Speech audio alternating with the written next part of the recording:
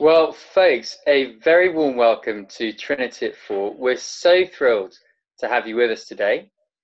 A particular welcome if you are a child. We love having children with us. Um, the first 15 minutes, we hope, is particularly accessible for you. So if you're a young person, please do stick around. And if you are a grown up with young children in the house, why don't you go and grab them? Because hopefully the first 10, 15 minutes will be particularly engaging uh, for them. Um, if you're here for the first time, then welcome. We love having newcomers. Uh, we meet all together for about 35 or 40 minutes, and then uh, uh, regulars go off into smaller groups. And if you're new and would like to be in of, involved in one of those as well, then uh, that'd be a very easy thing to organise. So just send me a, a message on the chat. Um, in a moment, I'm going to begin in a prayer, but I just wanted to say that um, a much loved member of our church family is turning 80 tomorrow. I gather. Um, this is Bob Summers. So I wondered, um, Peter, I'm looking at you, our techno man. Can you temporarily unmute everyone so we can all shout a very quick, quick happy birthday? Okay, we're all unmuted. Should we all shout a big happy birthday?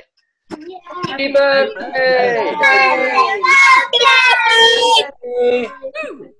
Okay, Bob, we love you very much and hope you have a wonderful 80th birthday celebration tomorrow. I'm going to pray for our service and then we're going to sing.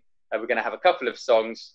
Um, you're welcome to sing along, or if you prefer just to listen in, that's fine as well. So let me uh, let me pray. Father, we thank you so much for the ability to meet like this in the absence of being able to meet physically. As we've been praying week by week, we pray that you would help us to fix our eyes on Jesus and as we do that, run with perseverance through these days. And we pray that for Jesus' sake. Amen.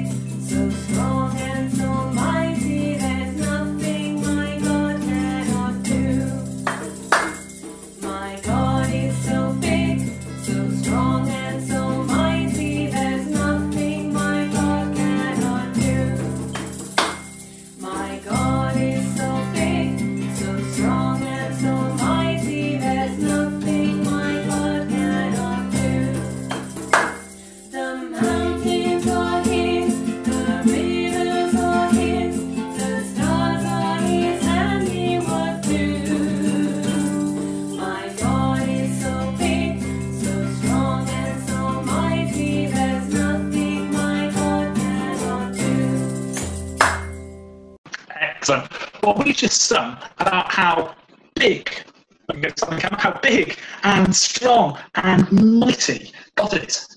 And the next bit of our story in Exodus is all about the showdown between God and Pharaoh.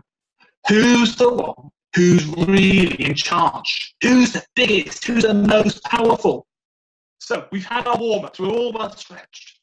And this bit of our story today is like the warm up. It's the first showdown between God and Pharaoh. And it looks like it's a win for Pharaoh.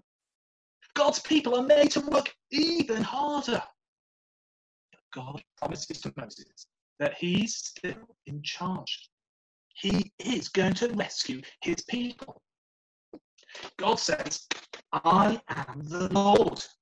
I keep my promises.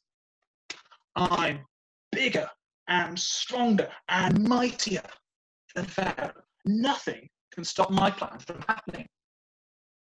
And the thing is, God's still bigger and stronger and mightier than anything in the world. Nothing can God stop God's plan to rescue his people, and nothing can stop God's plan to rescue us. And we can be sure of that because we have the evidence in our Bibles that Jesus really did die and come back to life. And that shows us that God is bigger and stronger and mightier than anyone or anything else. Nothing can mess up God's plans.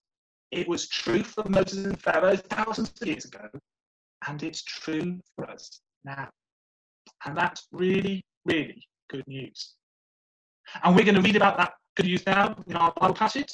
Steve is going to read it for us. Let me unmute you, Steve.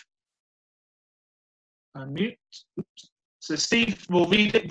It should come up on screen for us as well. And do follow along yourselves with the Bible now. Um, and once it comes up on, on screen, Steve, all over to you. Brilliant. So we're going to start in Exodus 4:29 to 5:9, and then 5:19 to 6:1, also in Exodus as well. So starting off at chapter 4, verse 29 in Exodus. Moses and Aaron brought together all the elders of the Israelites, and Aaron told them everything the Lord had said to Moses. He also performed the signs before the people, and they believed. And when they heard that the Lord was concerned about them and had seen their misery, they bowed down and worshipped. Afterwards, Moses and Aaron went to Pharaoh and said, This is what the Lord, the God of Israel, says Let my people go, so that they may hold a festival to me in the wilderness. Pharaoh said, Who is the Lord, that I should obey him and let Israel go? I do not know the Lord, and I will not let Israel go. Then they said, The God of the Hebrews has met with us now let us take a three day journey into the wilderness to offer sacrifices to the Lord our God, or he may strike us with plagues or with the sword. But the king of Egypt said, Moses and Aaron, why are you taking the people away from their labor? Get back to your work. Then Pharaoh said, Look, the people of the land are now numerous, and you are stopping them from working. That same day, Pharaoh gave this order to the slave drivers and overseers in charge of the people. You are no longer to supply the people with straw for making bricks. Let them go and gather their own straw, but require them to make the same number of bricks as before. Don't reduce the quota. They are lazy. That is why they are crying out, Let us go and sacrifice to our God. Make the work harder for the people so that they keep working and pay no attention to lies. And now 519. The Israelite overseers realized they were in trouble when they were told, You are not to reduce the number of bricks required of you for each day. When they left Pharaoh, they found Moses and Aaron waiting to meet them. And they said, May the Lord look on you and judge you. You have made us obnoxious to Pharaoh and his officials and have put a sword in their hand to kill us. Moses returned to the Lord and said, Why, Lord? Why have you brought trouble on this people? Is this why you sent me? Ever since I went to Pharaoh to speak in your name, he has brought trouble on this people, and you have not rescued your people at all. Then the Lord said to Moses, Now you will see what I will do to Pharaoh. Because of my mighty hand, he will let them go. Because of my mighty hand, he will drive them out of this country. This is the word of the Lord. Brilliant, Steve. Thanks so much. And should we just pray as we look at God's word together? Let's pray. So, Father, we pray that you'd give us focus just for 20 minutes or so. Uh, Lord, with all the distractions going on in the house, with all the distractions going on in our own minds, uh, Lord, we pray you'd help us to put those to one side. And we just expect you to be speaking particular truths to our hearts as we look at your word, the Bible, now. And we pray that for Jesus' sake. Amen.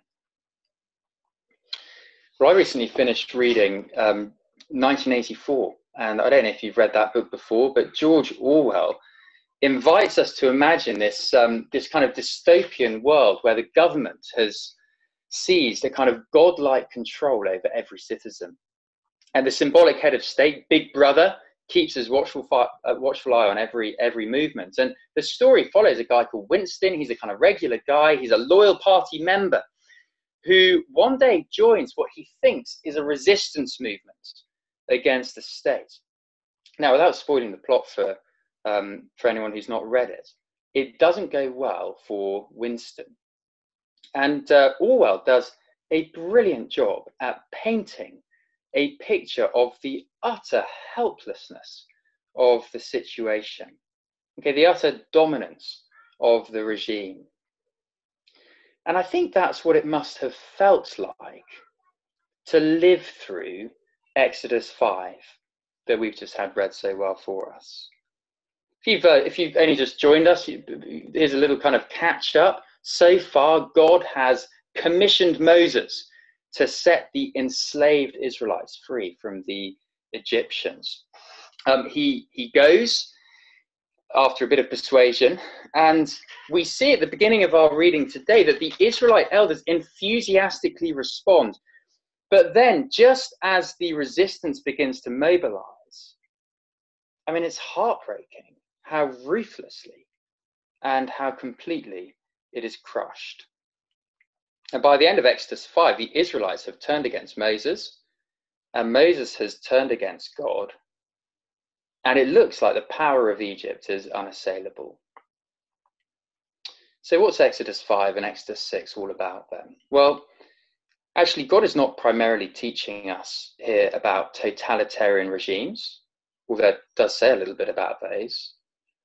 Mainly, He's teaching us about the nature of redemption Perhaps we might just have our, our slide up. Here are a couple of key verses that we get a little later on in, in chapter 6, if we could put those up on the screen.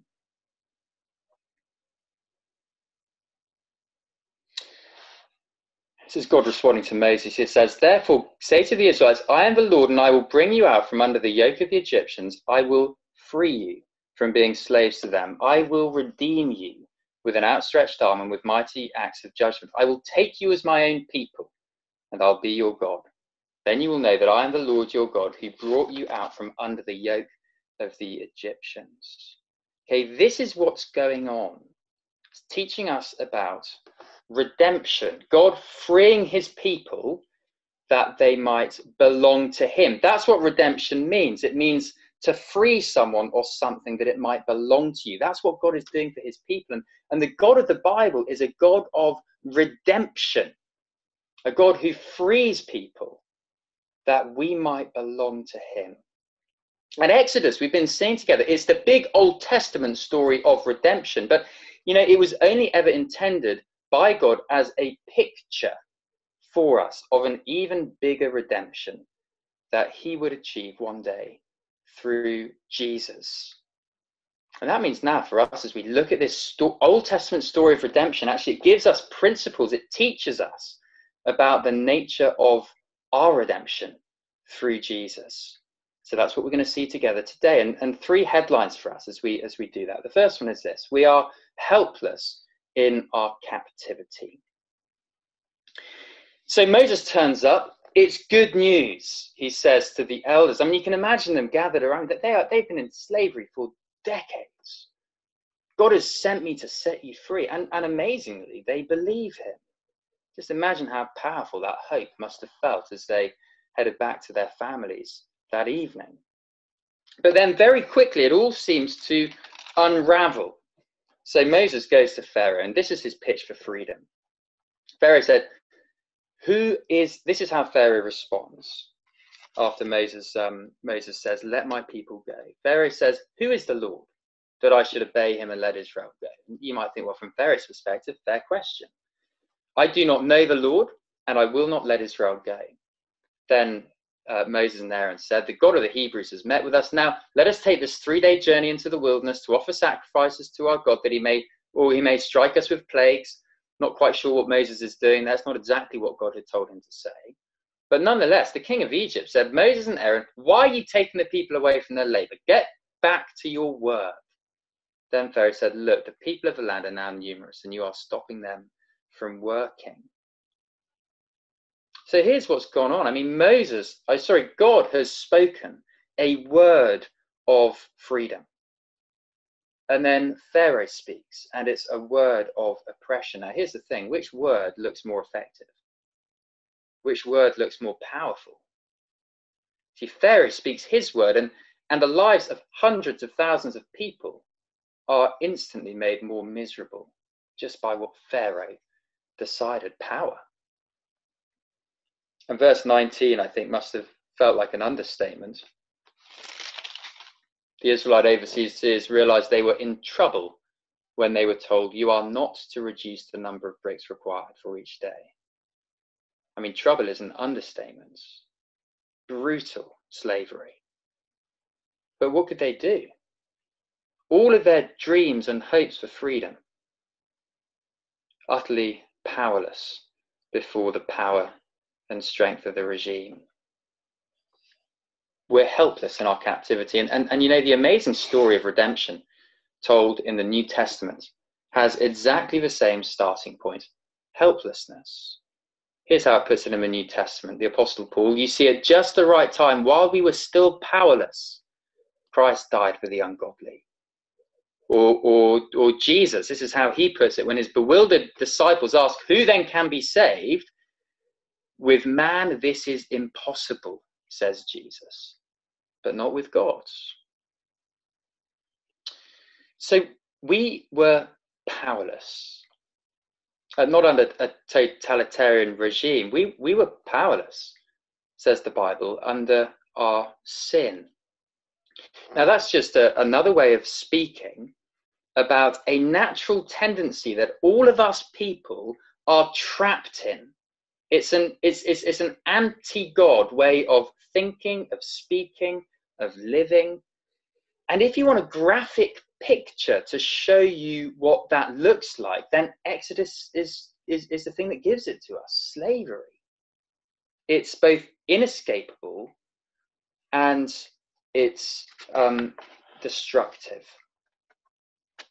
Our, our, our sin is inescapable. I mean look at the world around us have have we people fundamentally changed for the better over the years and generations and centuries? Or have we just got more intelligent and worked out more intelligent ways of doing the things that we've always done? Okay, look at your own life. You know, so I mean, I don't know if it's just me, but don't you find it's just the same old issues come up to the surface? The same old temptations plague us. The, the same old selfishness rears its ugly, ugly head. The power of sin, like the Egyptian oppressor, is, is inescapable. But it's destructive as well. I mean, the, the Israelites cried out under it. And it's interesting, you know, Jesus refers to our sin um, as a burden. It's an interesting image, that, isn't it? Now, wonderfully, as we'll see shortly, he offers to carry that burden for us. But doesn't that language ring true? The burden of our sin that weighs us down, and we find it hard to escape it. It's destructive. Patterns of thinking, patterns of relating that are not life giving, but nonetheless, we go back to them. And ultimately, the, our, our, our sin, the Bible tells us, leads towards a total separation from God and all that is good. This is where the story of redemption begins. Helplessness. We're trapped. And as the sun set on an utterly despondent Moses and an utterly helpless people, any hope of self salvation had been crushed under the sheer power of the oppressor. And you know, helplessness is how every personal story of redemption begins. Now, some people imagine that being a Christian is about seeking to be a better person. Some people imagine being a Christian is, is about adopting a moral outlook or a set of religious practices, but that's not a Christian. That's someone who thinks that they're a nice person. And actually, they are being hopelessly over optimistic about human nature and about the condition of our own hearts. You see, a Christian is someone who has realized that under their sin, they are helpless. They cannot escape it. They cannot hope to have any relationship with God or any hope for eternal life in their own strength. And that's when a person's personal story of redemption begins. Because that's when they stop looking to themselves and begin looking to God. Okay, so that, that's our first point. We are all under uh, captivity, we're all captives. Here's our second point, though. Our only hope of redemption lies with God. Our only hope of redemption lies with God. This is how um, God answers Moses when he goes to report back what's going on. Then the Lord says, uh, said to Moses, Now you will see what I will do to Pharaoh. Because of my mighty hand, he will let them go. Because of my mighty hand, he will drive them out of his country. See the repetition there, because of my mighty hand. Or as Jesus said, what is impossible with man is possible with God. But as I read on now from, from, from that second paragraph, see the phrase that is repeated like a hammer blow that God speaks to Moses I am the Lord. So God also said to Moses, I am the Lord. I appeared to Abraham, to Isaac, to Jacob as God Almighty, but by my name, the Lord, I did not make myself fully known to them. I also established my covenant with them to give them the land of Canaan when they were resided as foreigners. Moreover, I've heard their groaning of the Israelites, whom the Egyptians were enslaving, and I have remembered my covenant. Therefore, say to the Israelites, I am the Lord, and I will bring you out from under the yoke of the Egyptians. I will free you from being slaves to them, and I will redeem you with an outstretched arm and with mighty acts of judgment. I will take you as my own people, and I will be your God then you will know that I, the Lord your God, who brought you out from under the yoke of the Egyptians, and I will bring you to the land I swore with uplifted hand to give to Abraham, to Isaac, and to Jacob. I will give it to you as a possession. I am the Lord. I am the Lord. Remember, it's, it's, it's, it's not about you. God says to Moses, I am the Lord. Remember, I have promised to redeem you. I am the Lord. Remember, I love you and am at work. I am the Lord. Remember, Pharaoh may be too powerful for you, but he's not for me. I am the Lord. You know that word I comes nearly 20 times in this short paragraph. Can you see the point? Yes, by ourselves we are helpless, but God has promised to work redemption, to free us from our destructive slavery to sin, that we might belong to Him. And you know, nothing will stop Him from carrying out that redemption. It didn't stop Him in the days of Moses, Pharaoh couldn't stop Him. And as for the Israelites, so it is for us. You know, Jesus came. We did nothing to bring him down. Jesus loved us. We did nothing to deserve that love. Jesus died on the cross, facing the punishment that should have been asked for our sin. We did nothing to merit such costly sacrifice. Jesus rose from the dead. You know, we can do nothing in the face of death ourselves. Jesus offers all who trust him total forgiveness from our sin. New resurrection, we've done nothing. We can do nothing, but Jesus has done it all. In fact, all we're called to do is to respond to Jesus in faith. That just means to say, gosh, I, I, I realize now I, I need this redemption too. No, I, I can't do it myself. Jesus, thank you. Please free me. Take me to belong to yourself. I don't know if it's just me, but, but then you find that we people are so prone to assuming that we can just do it all ourselves. Actually, that attitude is the greatest hindrance to someone becoming a genuine Christian. Of course, there are plenty of religious churchgoers who assume it's all about being a good person and trying your best. Actually, that, that's, that's not a Christian. Because a Christian is someone who has thrown themselves exclusively on the mercy of Jesus. And you know, such is God's love for us that some uh, that, that that sometimes, as He did for the Israelites back then, He will lovingly lead us through a season of life that reveals to us how helpless we are, how in need of redemption. And He does that, friends, not to crush us, but so that we might put all of our hope and confidence not in ourselves, but in Him. While we were still powerless, Christ died for us. And where does that leave us? Well, it leaves us with no place to boast. It leaves us with no moral smugness or superiority, only an overflowing thankfulness for what God has done for us. Christian believer, I wonder when was the last time that your heart exploded with praise? Or could it be that you have forgotten how helpless we were without Christ and the mighty hand that through him secured your redemption? Okay, so we are we are helpless, uh, enslaved in our sin. Our only hope of redemption lies with God. And so, just finally, a few thoughts. Keep looking to God. Keep looking to God. You see, the experience of the Israelites not only illustrates our helplessness, it also illustrates a very common experience in the Christian life, and that is spiritual attack. The story of the Bible as a whole makes it very clear that uh, behind Pharaoh lies a spiritual foe who is opposed to all God's plans and God's people Satan.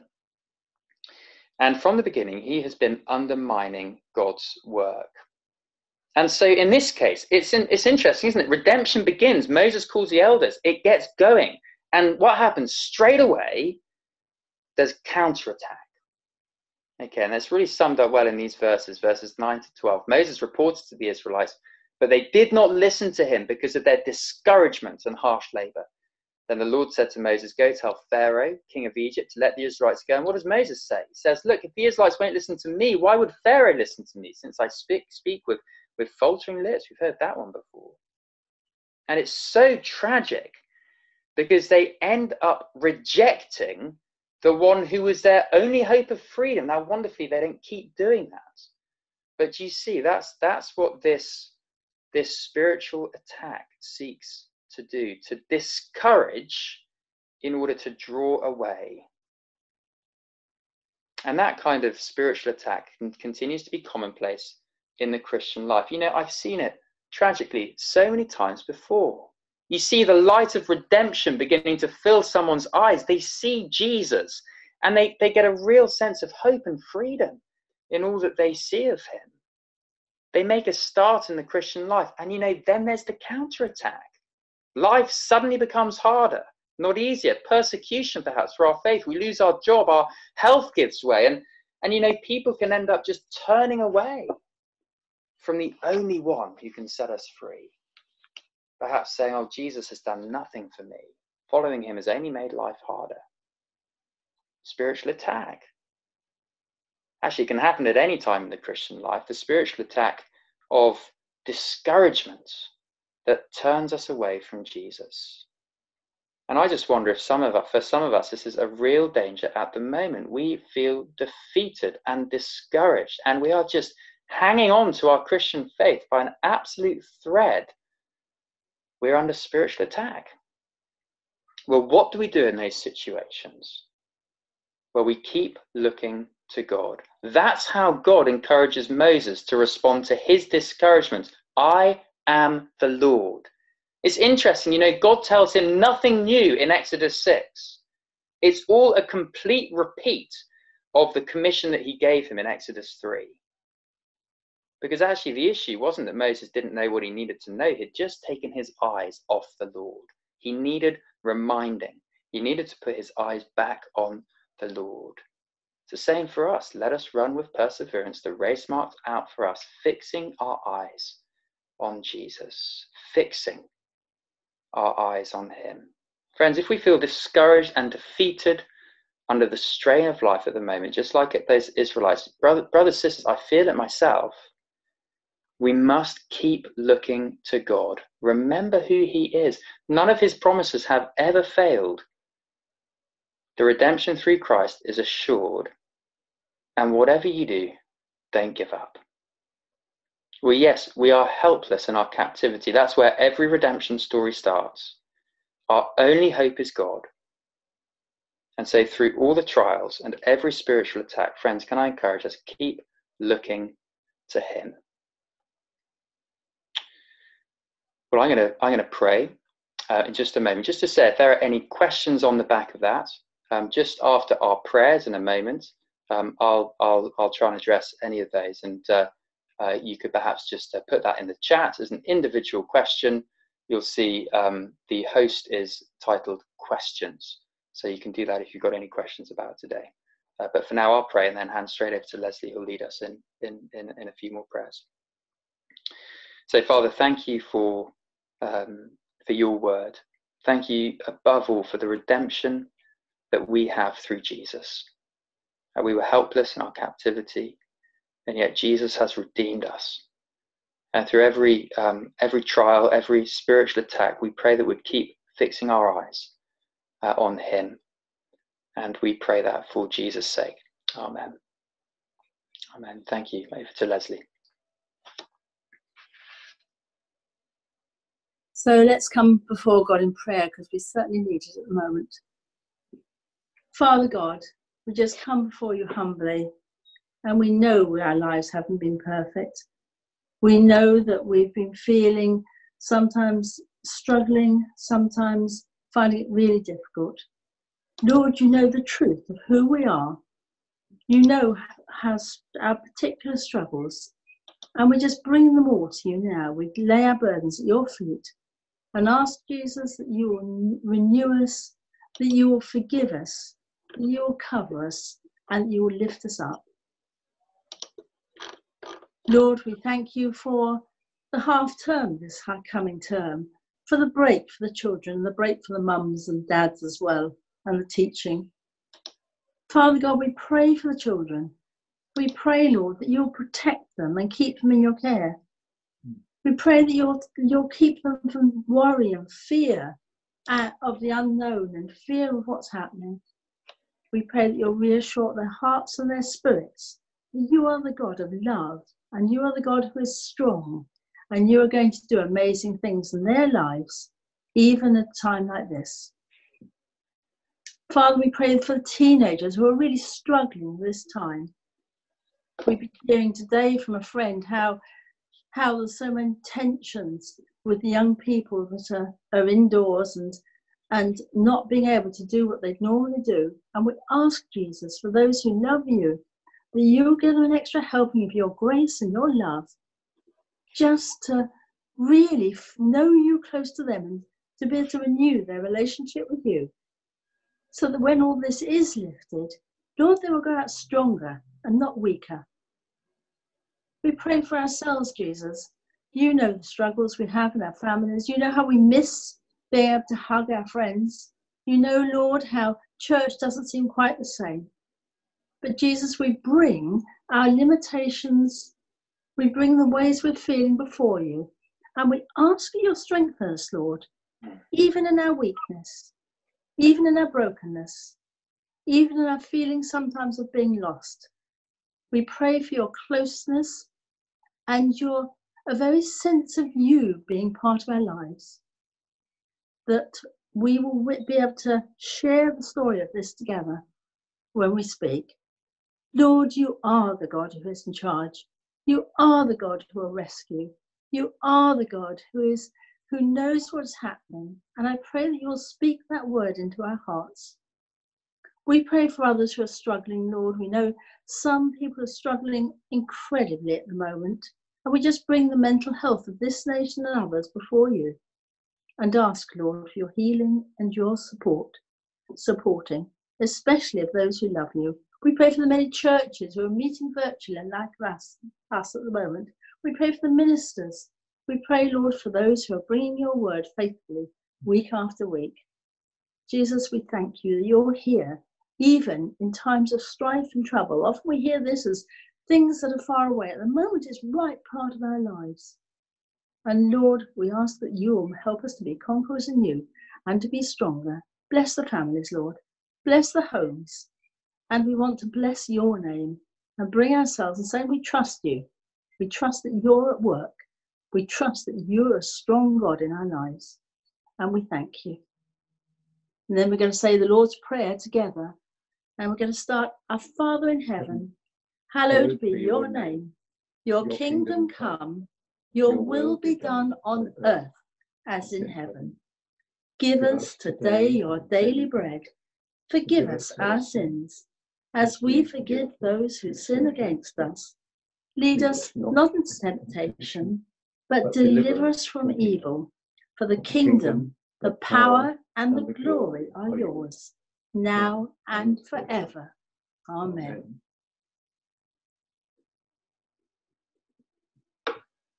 Well, folks, that brings our service uh, today to an end. Just before you zoom off to your cluster groups, just two things to mention.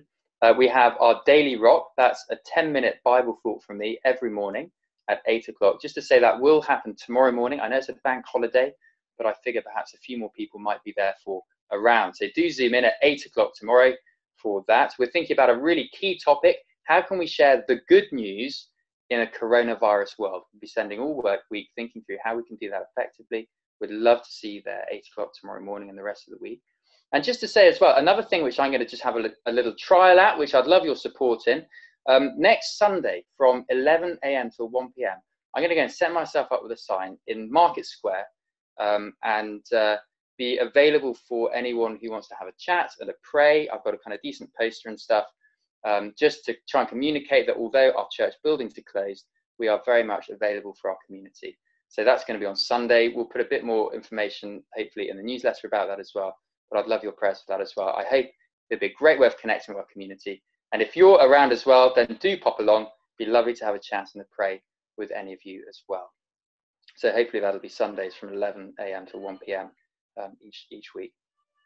I'm going to just close our time with a prayer, and then I'll zoom us all off to our to our cluster groups. Let's pray.